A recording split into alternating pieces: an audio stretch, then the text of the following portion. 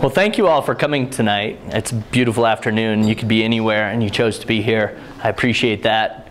I also appreciate seeing a lot of other artists in the crowd. Um, it's good that we support each other. That's something that we need to do for sure. Uh, my name is Ben Roth. I've lived in the Valley about 19 years. I uh, became an artist uh, about 13 years ago doing metal work and sculpture. I've been doing it uh, full time since then. Before that, I was in the restaurant business. And before that, I ran a little uh, bed and breakfast. And before that, I got a degree in hospitality. Uh, I was working in Vegas, and it was miserable, so I moved here. And I'd spent time here growing up. I knew the place, but I didn't think I was going to get to live here so soon after college, and I'm thrilled that I did. Um, someone asked me recently, why are you an artist? Why have you chosen this career path? And I don't know. I don't know sometimes. Sometimes I ask myself the same question. But, and I don't have a perfect answer for you, but I have been thinking about it a lot. And have any of you watched the Marcel the Shell with Shoes videos on YouTube? Raise your hand if you've seen those before. They're really good. I strongly recommend them. They're like three to four minutes long. Marcel's a little shell with one eye and little plastic shoes, and he's kind of a philosopher. And I think he said it best. He said, Life's a party, rock your body. but that's not all he said. Actually, that's not, that doesn't really apply to this actually so much. Actually, when asked why he smiles so much, his answer was, because it's worth it. And I thought that was a really good answer. And I think it sort of applies to the question brought to me, why are you an artist? It's because it's, it's worth it. You know, it's a struggle. It is hard. It is stressful. It's depressing. It is lonely. But it is worth it to me. It, uh, I'm stoked every day I wake up. I'm stoked when I take these mater raw materials and I make something out of it, out of nothing sort of, and then people respond to it. It's really worth it. It's worth the effort. And, and it also feels right too. It feels like what I'm supposed to be doing. Uh, you know, in life, things kind of keep popping up as you go through life. I encourage you to notice those things that keep popping up. Um, I wouldn't recommend responding to them the first time they pop up, but if things keep, if something keeps presenting itself to you, you should take notice of it. And that's how art has been for me. Ever since I was young, I've made art. I never really thought I could make a living at it, but I did a lot of drawing when I was young. I made elaborate Valentine's boxes for school. I made elaborate signs and gifts for my family. And, and then in college, I took sculpture classes. My first semester, I sold all the sculptures I made. But then the second semester, I had no good idea. Did not have a single good idea the whole semester. And that sort of freaked me out. So I stayed in my major in hospitality. Uh, but then after I graduated, I went to work at the convention center and I was managing the public foods, but then I was also doing the ice sculptures and the food sculptures which I love that part. The management part I didn't like at all. And, uh, and then when I moved here, this is just this art-filled valley. There's so much inspiration and you're surrounded by artists. So I was making art on the side while working in the hospitality. And then I got the chance to build a restaurant and I went and talked to John Sims, who's here this evening, and showed him the design. And he's like, oh, I'd love to be a part of it. Now, some of you guys have heard this story, so I'm sorry if you're hearing it again. But I said, we can't really afford to pay you to do the metal work, but we still need to do this metal work. And he's like, well, why don't I show you how to do it and you can do it? Which changed my life, uh, making that offer. So I spent uh, three months in his studio doing the metal work and I just fell in love with the material. Like metal just felt right in my hands. It felt like I'd done it before, like in a past life or something. But then I had this restaurant to run. So for three years, I would sneak down to his studio and make things and then run back to the restaurant and run the restaurant sometimes with like black stuff smudged on my face. And then when I had the opportunity to get bought out of the restaurant in 2001, I decided to go for it. You know, I was like, nothing makes me happier than when I'm making my art. So I turned away from hospitality and decided to pursue a career in art and metalwork. And I kind of thought in four or five years I'd be jamming and it'd be great. and now it's been 13 years and I've learned patience. I've learned to realize that things happen at their own pace. I've survived a few recessions. I've been broke a lot. Um, but it's pretty, it's pretty great. I really, really enjoy it. Um, but it does take guts. It takes guts to go for it and courage. Uh, Georgia O'Keeffe said, to create one's own world takes courage. And it does. And it also takes encouragement. And that's something I would like to thank my friends in this community for, for encouraging me to do what I do. And I, I want you to encourage other artists or other people in your life who are pursuing something creative to encourage them because it helps. Uh, in 2010, I read US Census, a little over 15,000 people in the United States claim artists as their primary income. That's out of 300 million. so it's, uh, it's not an easy path, but it's also a joy and a privilege. I'm super thankful that I get to do it. So what I'm going to do is show you a typical year in my life. Since I got the smartphone, I've been pretty good about documenting what I'm up to. I'm not a great photographer, I'll warn you now. But it's fun at the end of a year to just kind of go through my picture and see what I did for the year. And people often come up and ask me, what are you doing? What have you been making? And I assume you're curious. So I'm going to share it with all of you to kind of show you what I've been doing. I assume you mean it when you ask me at the grocery store what I've been making. and if you don't want to hear about it, don't ask. Because I'll usually pull out my smartphone and show you what I've been making lately. But we're going to run through a year. Uh, but there's about 100 pictures. They'll go by pretty quick. Uh, we can I actually, well, I could stop it. If you really want me to stop on a picture, I could stop it, or we could just talk about the images when we're done. We're, so we're going to start in April of 2014. I got a call from Anna Olson. She's head of marketing out at the village, but she's also the, uh, on the airport board. She called to say that the airport was going to be under construction for six months and that they were going to build this construction tunnel. She wanted to hire me to embellish it, to make it look attractive for visitors and locals coming in and out of the airport. And she was willing to pay me to do it. And when someone calls and offers me something like that, I get sort of emotional because, well, I'm, I'm flattered that they're interested in hiring me. And then when they're willing to pay me for my work, a living wage, it's amazing. I really, really appreciate it. So of course I said yes. And and I hired my friend Mike Tierney to help me with it because he's a spray paint artist. And we had like a 130 foot long tunnel to, to decorate and a box out front that we needed to decorate. And then he thought it'd be good to build a tram. So I built a tram out of cardboard and he painted that. And we spent three weeks working on the project. We'd work from 11 at night till 5 in the morning for three weeks to get this painted. Uh, I still have most of the art stacked up in storage space, so if anyone's interested or curious about them, they're available. uh, so yeah, let's start the slides. Uh, I'll just make a few comments while we're going along. Oh, yeah, we're going to turn off the lights so you can see the slides better. So it's going to be kind of dark. Slide show's about seven minutes long, so. Hey, Stefan, how you doing?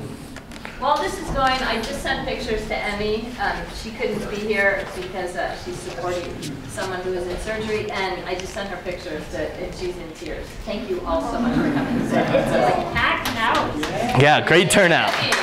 Great turnout. Uh-oh. Okay, make this go away.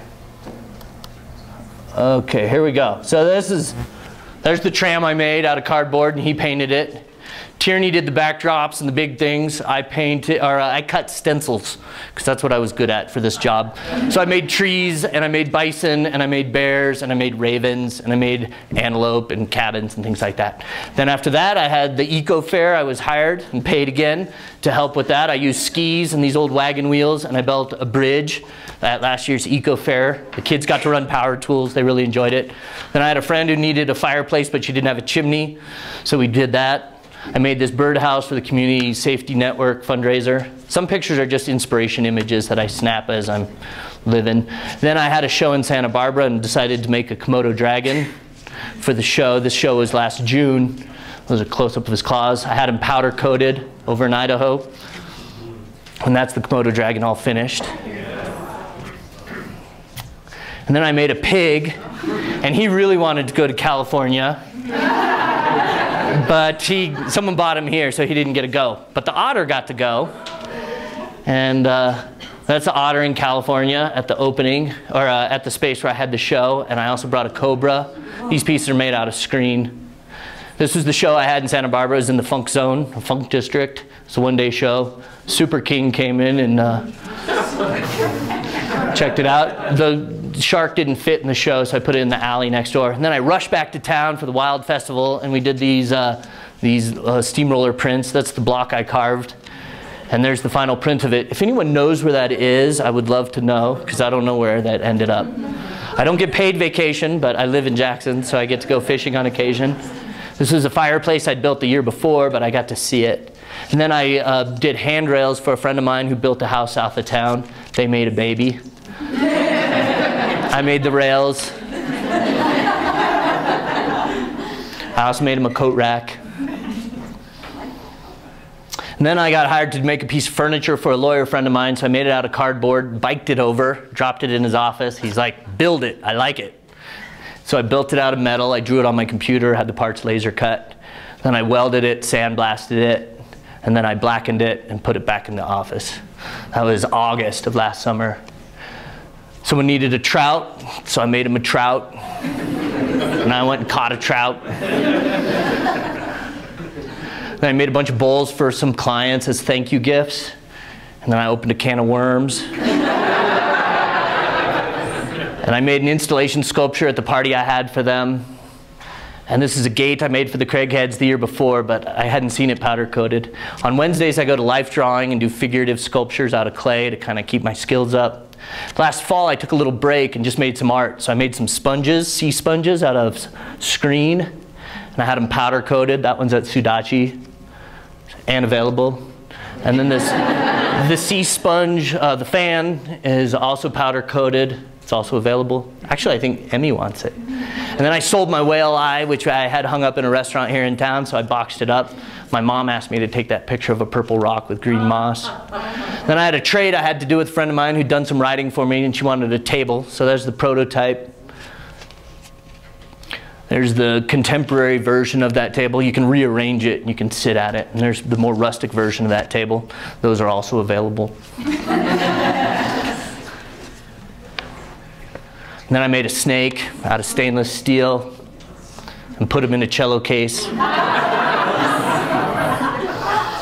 Then I started working with porcelain. I really like porcelain, so I've been making some figurative pieces out of that. Still trying to figure out how to glaze them.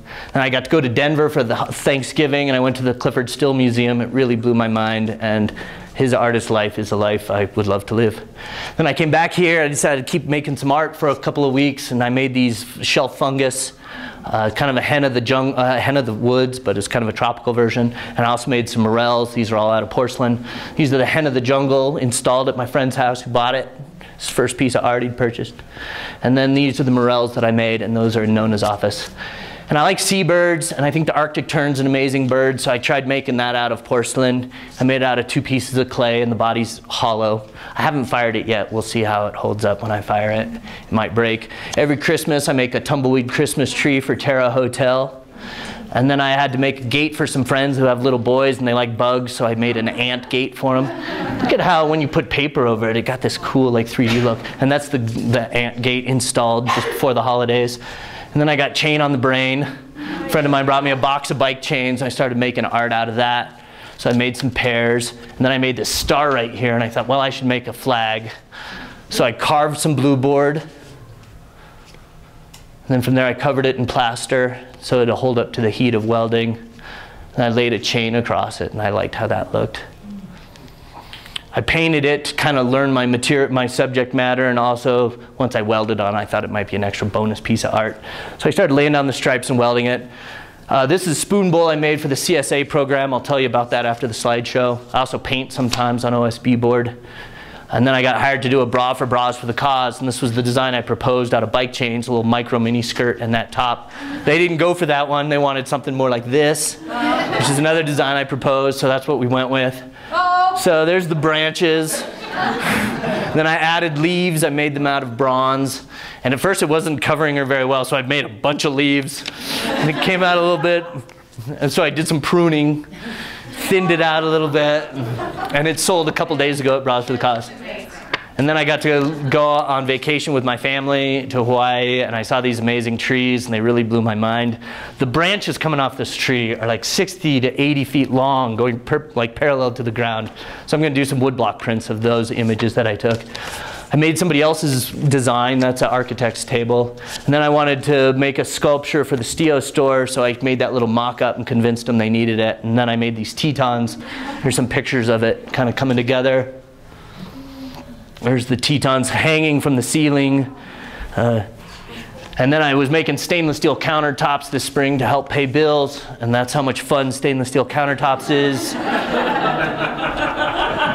Another shot of the Teton sculpture. I made this this spring for a friend of mine. It's a grill cover, helped pay the bills in March. Here's a close-up of the flag. The stars are chains. So the mold got kind of nice patterns on it from welding on it. Here's a close-up. Then from there, I rusted the stripes to make them red and used gun blue for the background for the stars. And that's the piece all finished. I think it'll be hung up in the Stio store here in Jackson this summer. And this is yesterday, the, uh, the mountains getting powder coated in Idaho. And that was my favorite picture from last year, so that's how I ended it.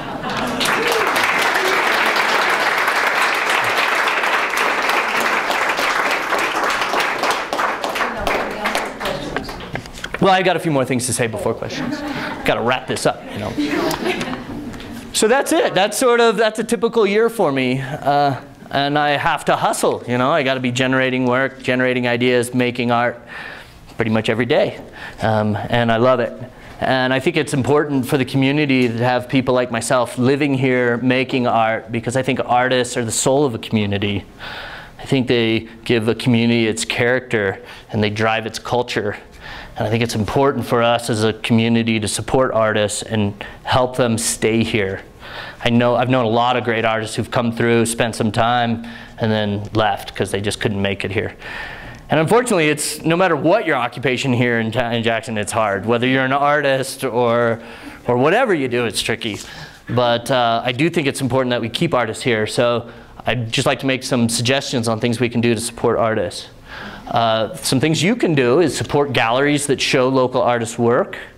Uh, go to openings from lo that local artists are having and go check out their shows and buy their work. Uh, support the businesses that support local artists because uh, there are some businesses here that are really good about that and we should encourage it. Uh, there's also a CSA program which stands for Community Supported Art and that is a share program where you buy a share and you get nine pieces of art from local artists over a nine month period. I believe it's around $400 for the share, and I'm participating in that. And each artist got paid 2,000 bucks to do that. You have to make 40 pieces of art, which isn't easy, but you're getting paid a living wage to do it, which is really nice. Uh, what I'm, oh, is this thing just going? Sorry. You guys, should we let it run? Okay, okay. Um, yeah, I prefer you looking up there instead. Anyway, uh, and, and the only other thing I'd like to say is what I'm doing, I'm directing my nonprofit energy and philanthropic energy towards making life easier for artists in Jackson. I will also benefit from my efforts, but I'm also trying to make it easier for the artists around me.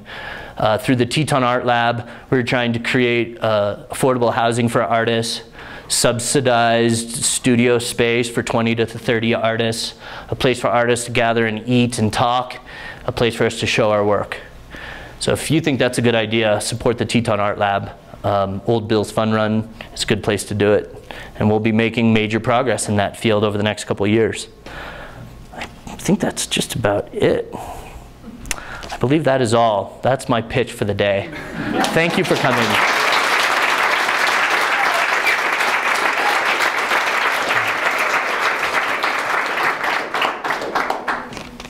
Any questions?